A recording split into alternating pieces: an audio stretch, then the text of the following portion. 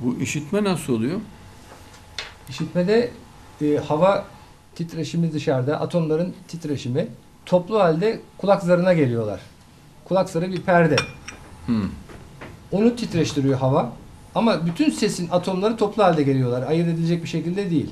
Bir e, titreşmeye başlıyor. Üç tane kemik var. Örs, üzengi, çekiç. Bu kemikleri oynatmaya başlıyor. Örs hangisi? En başta oynattığı kemik hangisi? Örs, üzengi Örs. ve çekiç. Bunu maket olarak getirin. Evet. O nedir o baştaki? Oktay sen kalk ayakta bana göster. Ya sen görüntüde göstereceksin. Sen görünmeyecek televizyonda zaten. Ya kardeşim görüntüye versene buraya. Ha. Ortadaki çekiç kemiği üzengi dediğiniz gibi çaycı tepsisine benziyor. Sapı olan, kulbu olan partta. Çekiç ve örs kemiği var en başta. Çekiş nereye dayanıyor? Çekiç üzengiye dayanıyor. Örs ile e, üzenginin arasında. O kemiklerin parmak ucunda böyle küçük şekli var. Gerçek orijinal hali. Resmi ona göstersene. Yanaştır. Maşallah. Şimdi baştaki hangisi oluyor? Oktay. Şu üzengi oku gösterdiği yer. Evet öbürü.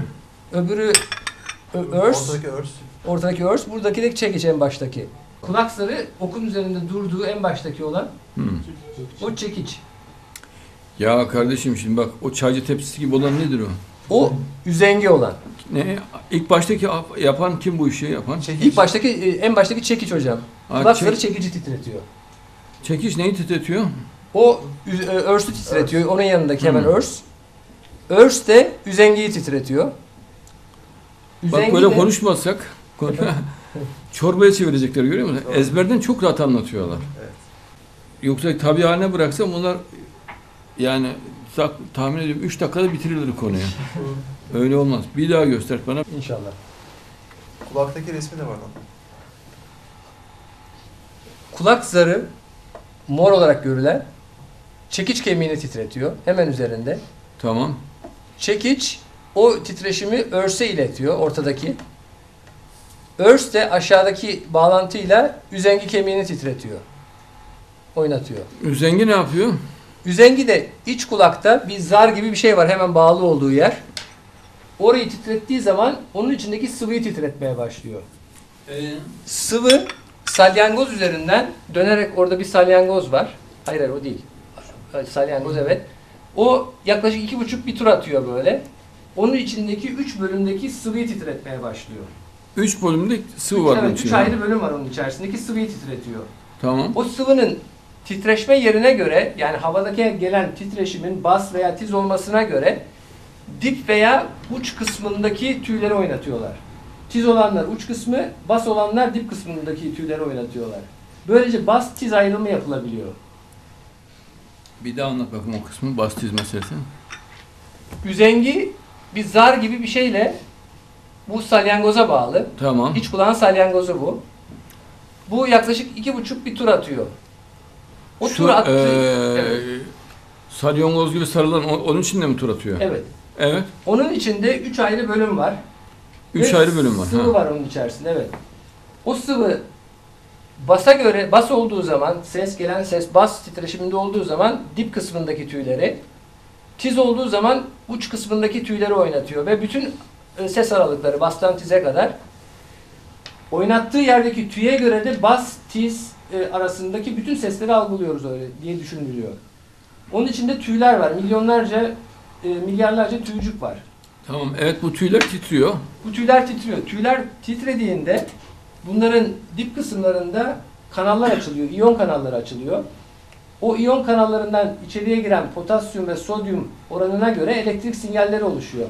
O bütün sinirlerde toplanıyor ve e, yan tarafta olan, beynin yan tarafında olan sinir e, duyma merkezine iletiliyorlar. Sinirler üzerinde. Allah Allah. Ne potasyum? Sodyum. Nasıl oluyor? Onlar hücrenin içerisine, tüycüklerin içerisine girip çıkıyorlar. O girip çıkmasından zarındaki elektrik değişiyor. Mili, miliamper düzeyinde çok çok düşük bir elektrik şeyi var onun. Eksi 70 derecede duruyor normalde hücrelerin şeyi. O değiştiği zaman Eksi 70 derece şey ne duruyor? O ne eksi duruyor? 70 miliamper. Ha evet. Ona e, dinlenme halindeki elektrik şeyi deniyor, dengesi deniyor zarın. Tamam. O değiştiği zaman iyonların giriş çıkışıyla yani sodyumla potasyum içeri girip çıktığı zaman o yükseliyor. Yükseldiğinde de bir elektrik Yükselen dalgası ne? oluşuyor. Elektrik dalgası yükseliyor. Hmm. O elektrik dalgası yükseldiğinde bir elektrik akımı oluşuyor. Çok düşük ama bu. Peki sesin gücüne alakası nedir bunun? İşte ses gücüyle e, baştaki hücreleri oynattığında, elektrik akımı oluşturduğunda bas olarak algılanıyor. Hayır potasyum falan oynatma gücünde bir değişiklik oluyor mu?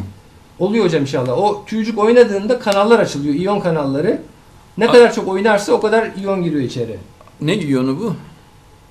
Tuz ve potasyum. Ha. Onların giriş çıkışı.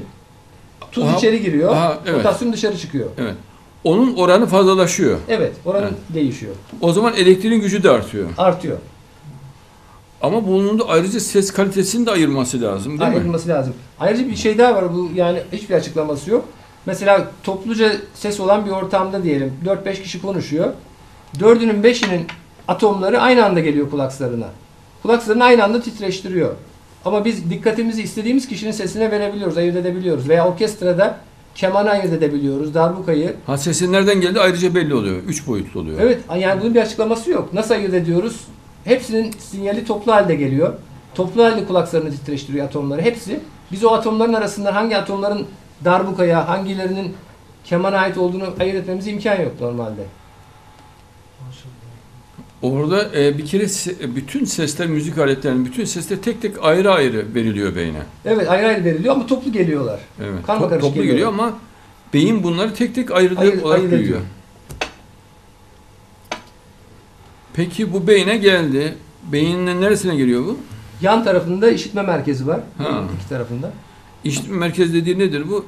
Beyinde bir et parçası. Evet yani. et parçası. Ne kadar büyüklüğü? Şu kadar bir şey. Ufacık bir şey. Orada onu kulaksız duyan biri var öyle mi? Var.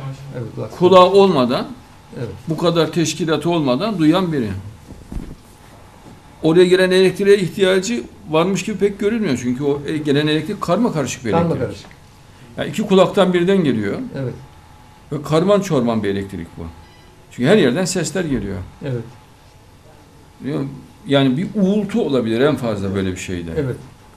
Ama biz üç boyutlu en ince tizlere varıncaya kadar bütün ses kalitelerini fark edecek ve yönünü de fark edecek şekilde bunu duyuyoruz. Elhamdülillah. O zaman bu elektriğe ihtiyacı olmadan duyan biri var. Evet. Bu kim? İnşallah. Ruh. Evet.